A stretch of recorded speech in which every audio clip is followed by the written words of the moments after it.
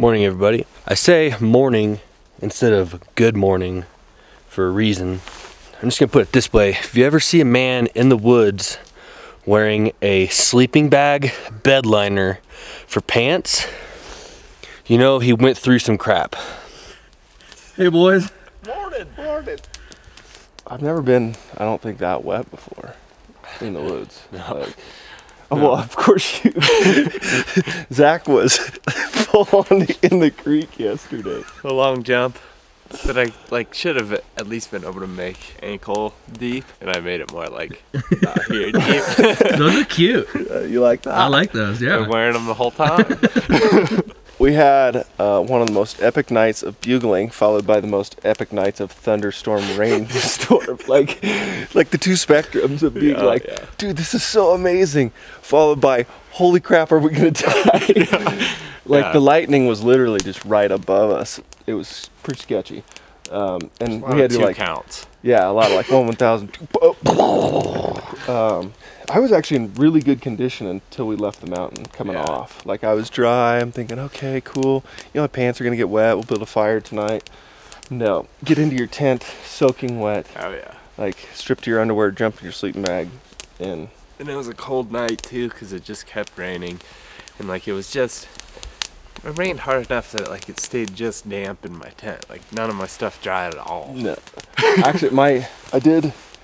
I put all my clothes on, and this ended up drying out. I think my thing that I've been wearing underneath it's pretty close, but my pants and my long johns not close. No. and Wes is wearing a. I don't know. It's a sleeping bag liner. It's the, best, it's pretty the only thing I have dry. I mean, when Yeah, I understand, man. I mean, I'm, like I put on wet underwear this morning. They're finally drying. Didn't sleep well, but I will say I heard bugles like quite a bit last night and this morning. I've heard at least thirty, I think. So we get stuff tried out.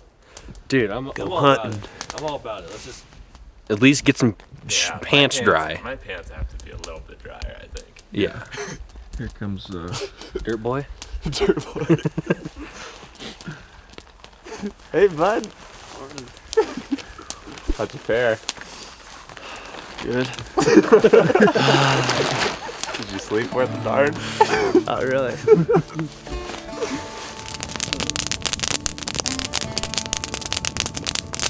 No, it's not supposed to rain today, is it? In theory. In theory. Oh, you had a little sun into the mix? You missed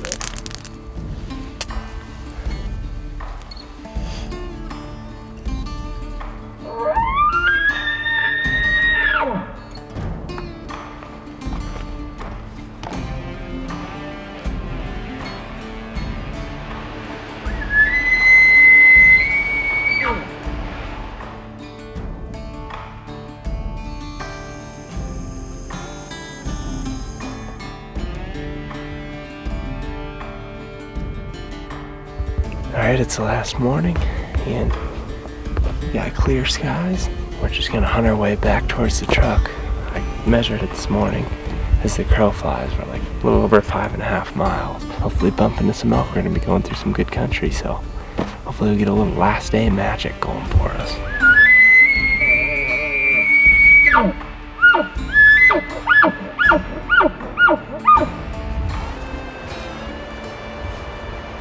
And the rain rolls in. With that, for my segment of Colorado, it's a wrap. For these guys, not so much. For Wes and Troy, not either. Yeah. Well, Ted is going to Nebraska. Nebraska. And then my buddy Ben is coming to Colorado here in the end of this week. So I'm going to be coming back out, hopefully meeting up with you at some point. And uh, I'm headed to go meet uh, Trent, Steve, and Trevor. We're headed to Arizona. I guess quick recap of today. Hunted our way back towards the trucks and didn't bump into anything. So it's Last day and a half's been rough. been rough. Been real windy too. Yeah. high winds.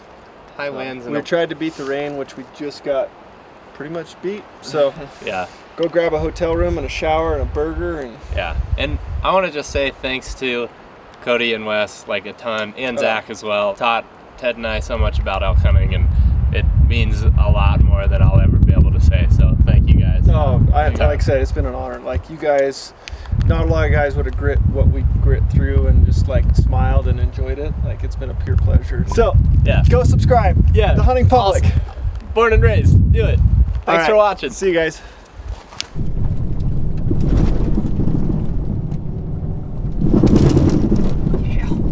What's up, guys? We are currently driving down a gravel road in Colorado, headed up for Ben's first elk hunt. Oh, stoked, dude. we went back and kind of regrouped. I got more gear, more food, and I picked up this guy along the way. Yeah.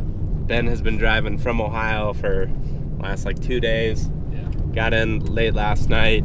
We finished up packing this morning, and now we are headed to get out of the car and start hunting. Actually, also behind me, got my buddy Colin. So, our plan here is we're going into the same general area, and actually, Wes and Troy, they're in this area. They went in this morning. I kind of have a rough idea of where they're at, so we're gonna kind of hunt our way in towards those guys. Hopefully, meet up with them at some point here in the next couple of days. It's about two o'clock right now. Our goal is to at least get to an area where we feel like we can camp and hear something in the morning. Uh, ideally, we get back in there. We can hunt a little bit this evening, right at prime time. But we're pretty fired up. We, I, feel, I honestly feel like we got a pretty good chance. Um, you know, just based off of the the encounters that we were having. You know, had just a few subtle things gone differently, obviously we would have gotten some pretty good shots at bulls. So fingers crossed that you know the luck falls in our favor at this point, and should be pretty fun. What's your expectation? Man, I don't even know what to expect. This is uh, this is not Ohio. This is- we're gonna get to this uh, trailhead here, take off in, and we'll see you guys when we start to walk up. All right, guys, on the trail. You feeling bogged down? A little bit. it's gonna be. Uh, just gotta get that back numb first. Yeah, right. this is our buddy Colin. What's up, guys? He's tagging along with us for a few days here. Excited to have him along. I'm excited to be with these guys. It's, it's gonna be fun. We're pretty noobs out here, but luckily got all that experience hunting with the guys from Born and Raised. Hopefully we can find a way to meet up with Wes and Troy later. But to start, we're gonna hike a long way in. Just hike as hard as we can for a couple hours here and just see how deep we can get right before prime time and then hopefully get to a spot where we feel like we're going to be able to hear elk bugling at night. So here we go. Part two of the elk. Yeah. i got too much food on my back to be shooting at that grouse. Unfortunately. Should i make him flush. All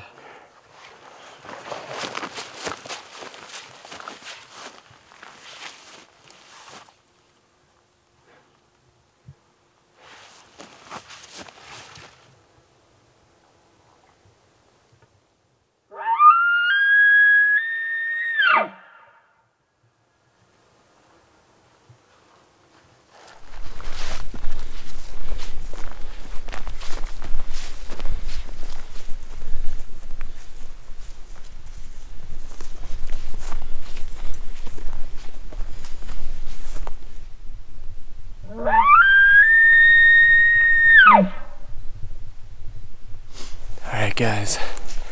It's getting on. 7.30 probably. Sun just went down behind the hills. We got a heck of a view behind us. Kind of just now are getting to our point of interest. You can see up there's the top. We're kind of on the highest point before a saddle goes to another high point. I just feel like from here we ought to be able to hear a lot and have a move and we probably went probably five miles or more since 345 one thing that i learned from cody and wes is definitely try to get a vantage as far as what you can hear. And i think from here we're to have a really good spot to hear elk bugle before we start in the morning. So it was worth the push i think. I think it'll be worth it We get up here, bugle a couple more times, make sure there's nothing close, and then set up camp.